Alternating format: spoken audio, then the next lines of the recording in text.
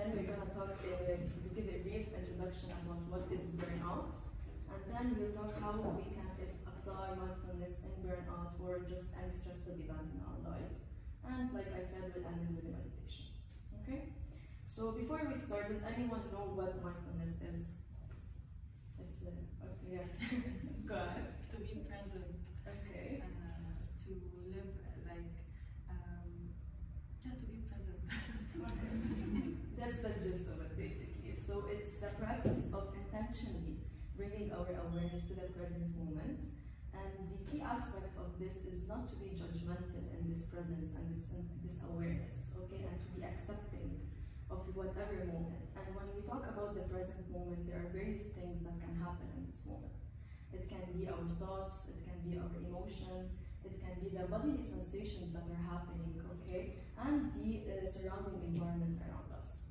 Okay, so it's about basically slowing down to the moment, moment to moment experiences that we're having.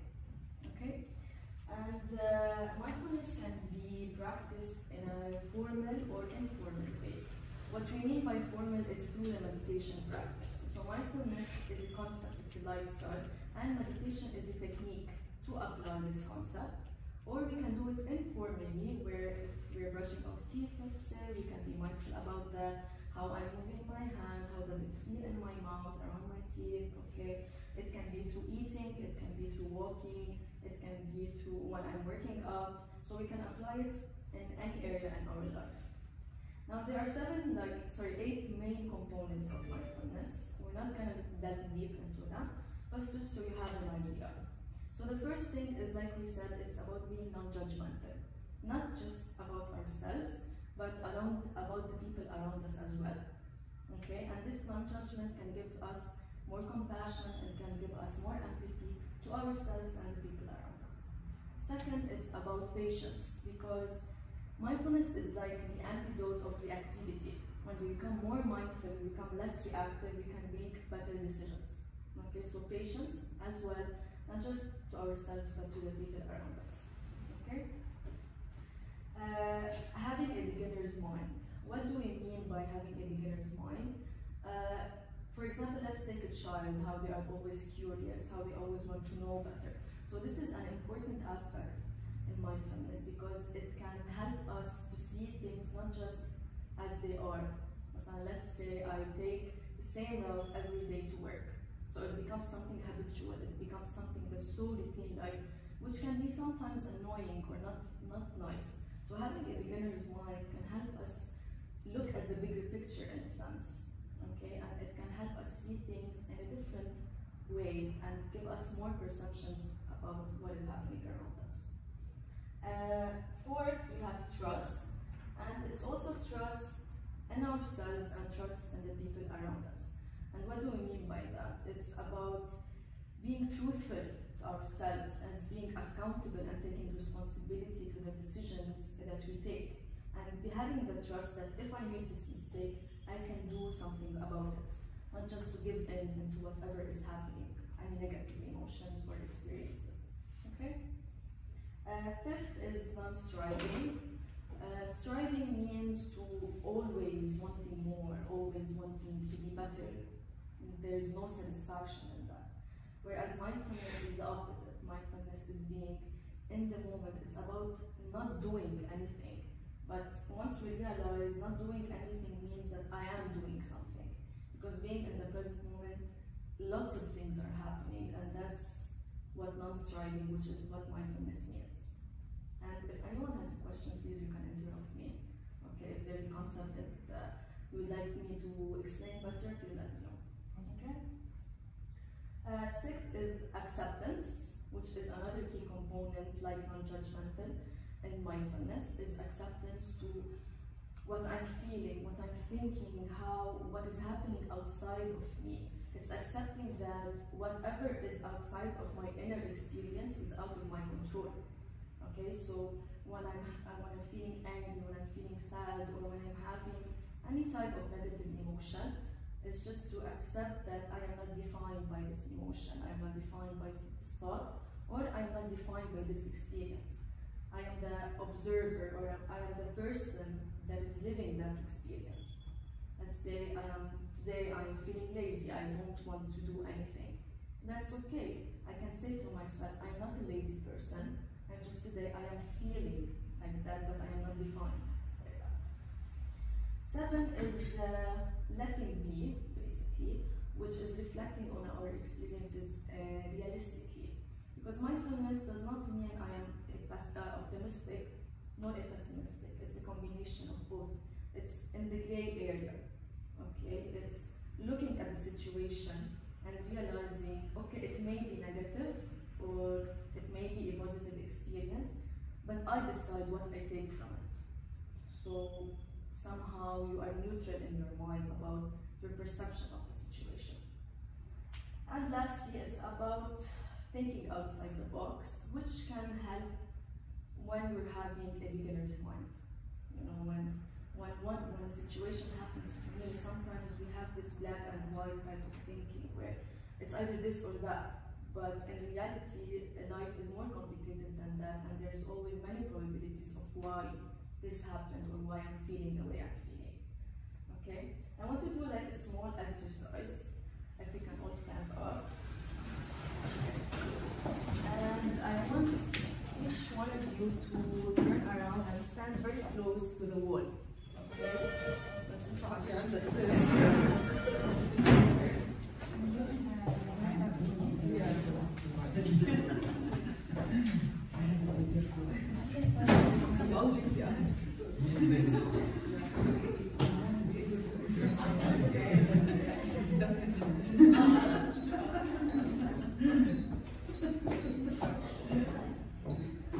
So,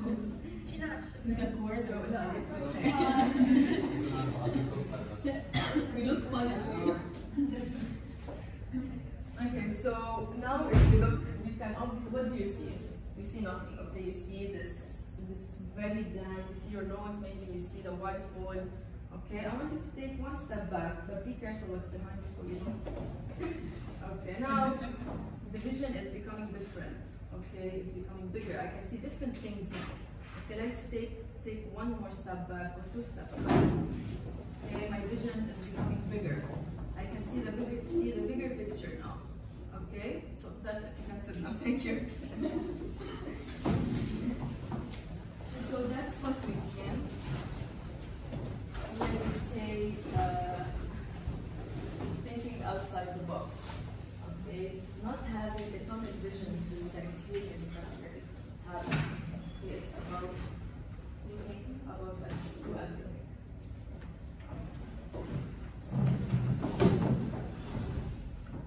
Okay, and one last thing about mindfulness is I want to uh, explain or like highlight the difference between being aware, okay, or acceptance and living in the situation.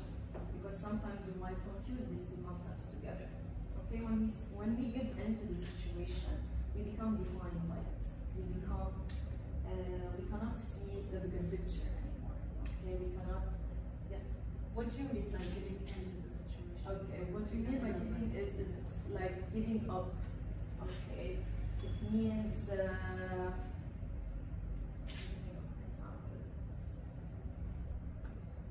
it means, مثلا, let's say أنا I failed my exam. When I give into the situation, it means that I'm a failure. Uh, I will not amount to anything. I am the situation that is happening to me.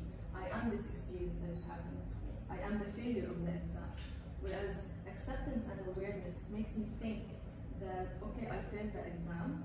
Let me see what I did that made me fail this exam. Maybe I didn't study enough. Maybe I did not understand the concepts enough. Okay? And it can, being aware helps me realize, okay, this time I did that. How can I learn from this experience? What can I do better for next time? Okay? And it's very important to know that acceptance doesn't always mean that I agree with what's happening. Okay? If I accept something, doesn't mean that I like what's happening. That's the hard thing about it. I, I want to be accepted, but sometimes it's gonna be very hard to accept whatever is happening. But this is part of it. Part of mindfulness. It's sitting with the emotion that I'm having. If I'm angry, I need to sit with the emotion. Where is it happening in my body physically? So personally, for me, when I'm angry, how do I know? I feel this pain here. That's how I, my body is telling me that this emotion is happening right now. And this can help me realize, okay, why am I angry? What's happening? Let me see what I can do. Okay? So, now, uh, so let's talk about burnout. Uh, has anyone ever experienced burnout? Okay. If anyone would like to share their experience, it would be nice. okay. I can. Okay. No, please no. Uh, you feel like you want to give up, like you don't want to continue. At the same time, you know that you should, Okay. and you don't know when to stop. Mhm. Take a break. Yeah. There's a sense, uh, there's an overwhelming sense. Doing, doing, doing the same, we're talking about work, the long hours, uh, not finishing your task, and they keep adding up. So I never, you have a sense of ending. Okay. Okay, thank you for sharing. So, like they said, burnout is a response basically to these continuous stressors or interpersonal stressors. What we mean interpersonal is social uh, relationships that we have with other people. It's not just you alone at the job. Okay, so it's a response to these continuous stressors that we have at work. Okay, and it has three uh, elements. First of all is exhaustion. Okay, it can be emotional and it can be physical. The second is cynicism or this feeling of detachment from the job. You know, when you're saying, you know, I can't continue anymore because, because mentally, emotionally, and physically, your body is telling you, please stop. Okay? So basically, this feeling of cynicism pessimism about, about yourself, about the position, about the people that you work with, not just you. And thirdly, uh, it's a sense of inefficacy. What we mean by efficacy is your own belief in your own ability that you are, in your capabilities, that you are able to achieve whatever you want. So now this sense of self-efficacy is now diminished because of the burnout. So we see uh, the we see uh, loss of energy, fatigue, depletion, low productivity at work, naturally, okay, uh, inability to cope with whatever is happening, uh, withdrawal, you become, you start uh, missing your shifts or you start don't want to go anymore to your work. Okay? So uh, how can mindfulness help, do you think, in this uh, burnout? From what we've talked about. Uh, can start by saying no to the things that you cannot handle. Okay, that's one thing. Boundaries. Okay. Maybe. Maybe time management. Okay. Yeah. uh, helps me process my emotions on daily basis so that I do not reach this level of burnout so that I can uh, fix whatever is, uh, is going wrong before I reach the extreme situation. Yes, exactly. So since, as we discussed, mindfulness can help us have insight or awareness into our internal experiences, we become more aware about the transitions that are happening internally.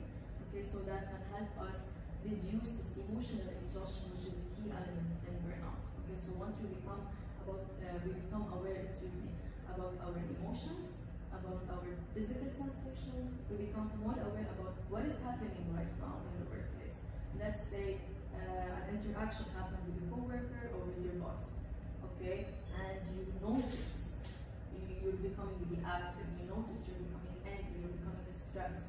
So mindfulness can help you become aware, and it can help you become less reactive, which can basically make me more adaptive to whatever is happening, and it can help me better my performance uh, at work. Okay? And because mindfulness also helps in the around environment around us, like we said, we become more aware about the external uh, environment. So that also can help uh, help us in noticing what is happening outside, so I can see how it is affecting me internally, so I can know how to deal with the situation. Okay? And it's also been associated, several studies have shown that Mindfulness can be resilience, which is a key element also in uh, becoming more productive and not having any burnouts. Okay? Any questions? Yes.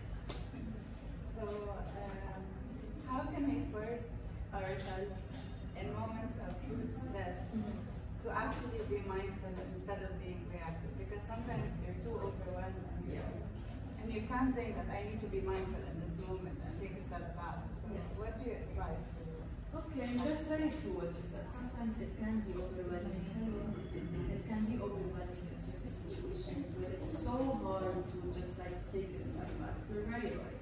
So the first thing is, first of all, practice is very important. Every day practice. And little things, okay? Personally, we can put uh, every half hour, okay?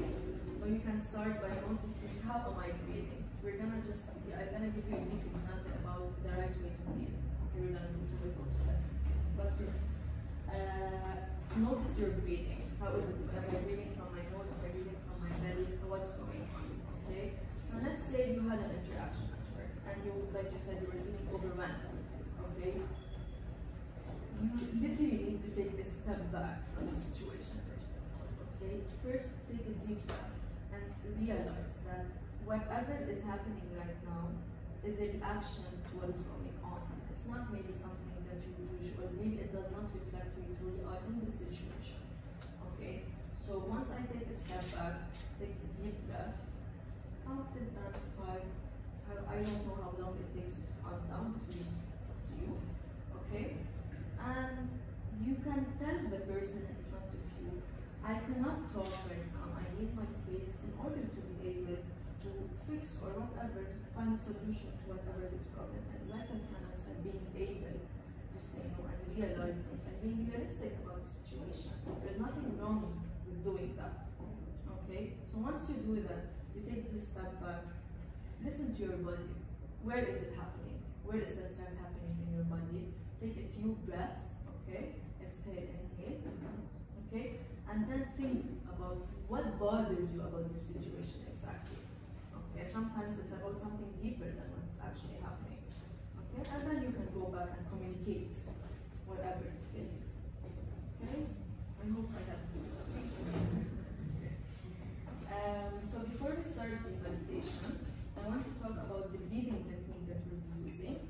Uh, firstly, it's very important that we breathe from the nose, inhale and exhale from the nose. We close our eyes unless you're feeling uh, anxious, you can open them, sometimes it can be overwhelming. Okay? And we need to breathe from the belly and not from the chest. Okay, why is that? Because when we chest, the blood circulation is faster in our body, our heartbeats are faster, so that sometimes our body can uh, think of it as a fight or flight response and we become more anxious. Okay, that's why most of the time people now are very anxious all the time, you know, they're like mean, always in a hurry, always in a So that type of breathing can help us slow down physiologically and mentally.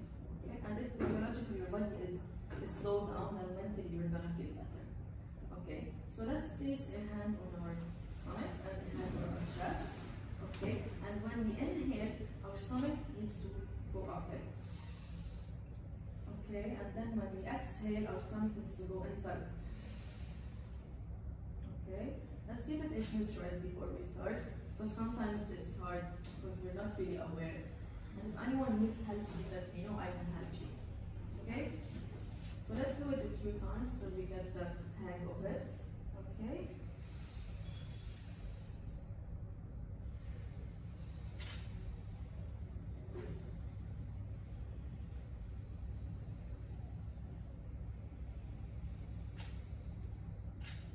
Like I said, on the exhale, our stomach expands. Excuse me, on the inhale, our stomach expands. On, on the exhale, our stomach goes back inside.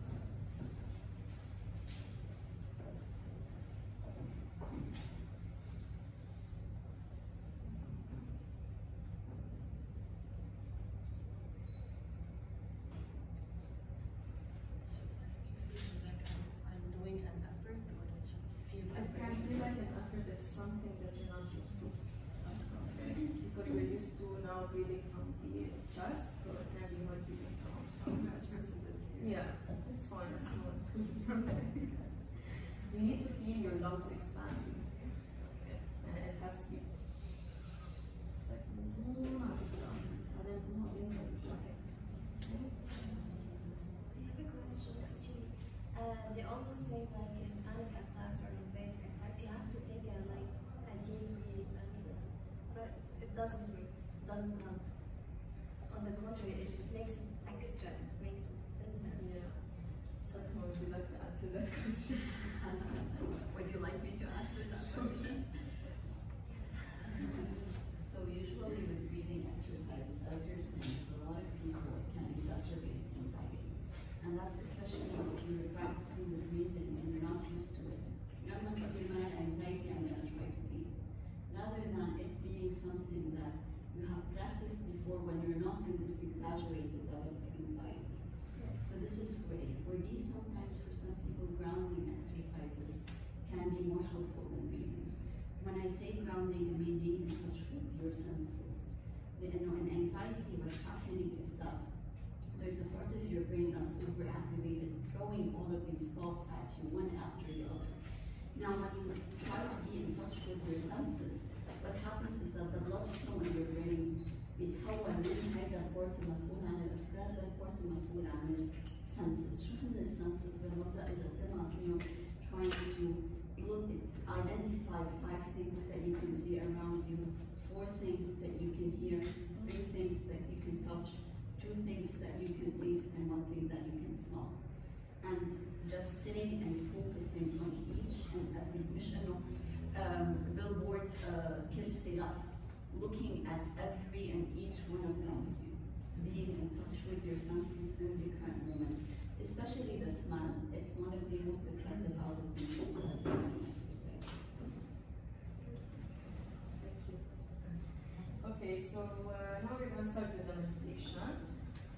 if anyone would like to, uh, uh, with there, we can stand while doing the meditation. It doesn't have to be sitting. Uh, it can be while sitting on a chair if you're uncomfortable sitting on the floor. Now I will fix your postures if you don't want, of course. Uh, and you can do it while lying down on the floor if that's even more comfortable for you. So you can take whatever position you like, and I'll just come around and see how I can fix your postures. Okay,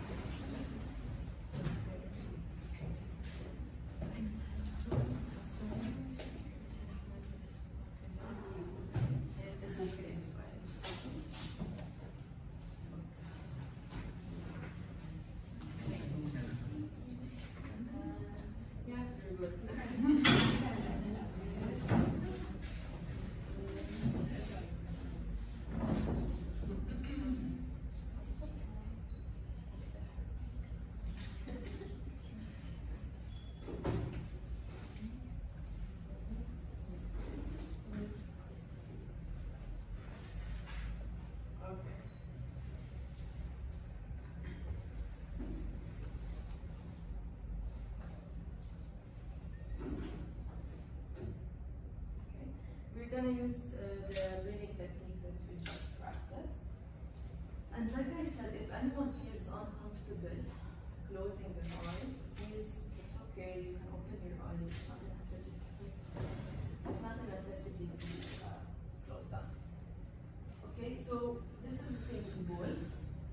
Okay, when we hear this, means we started, and if you hear it three times, that means that you're done. Okay?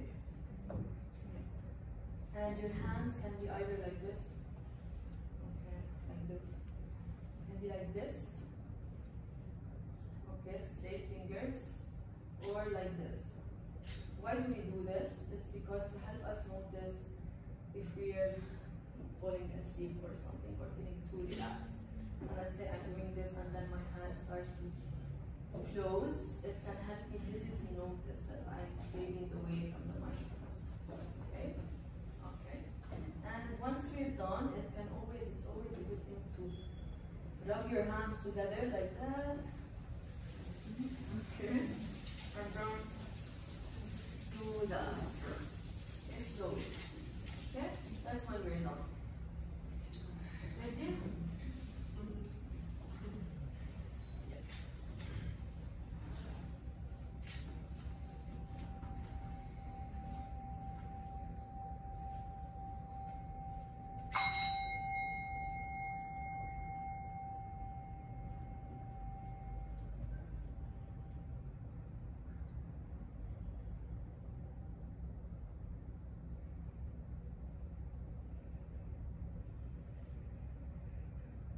Start by focusing on our breathing. Noticing the inhale and the exhale.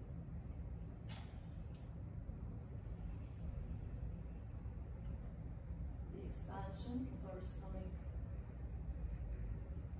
and how it's going down with every inhale.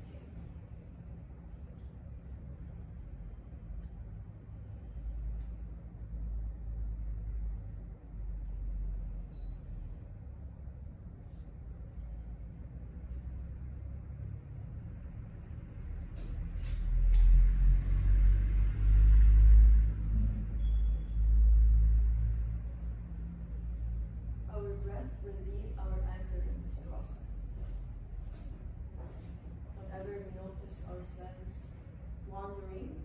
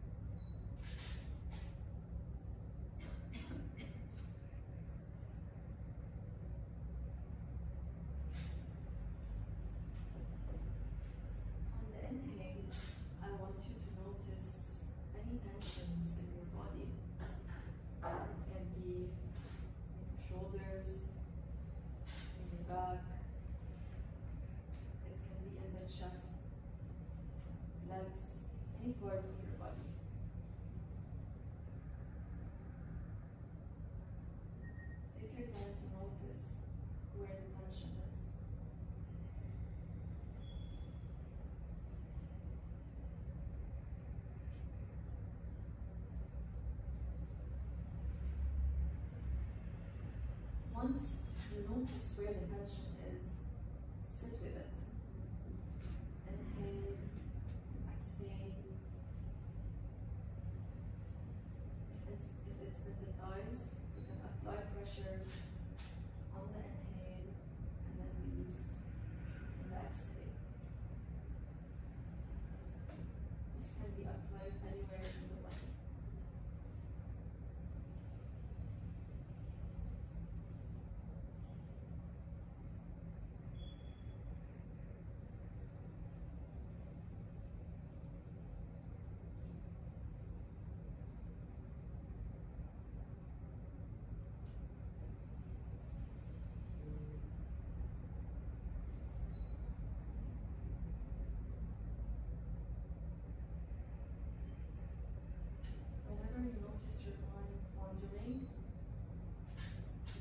okay. Accept whatever is coming and focus back on your breathing.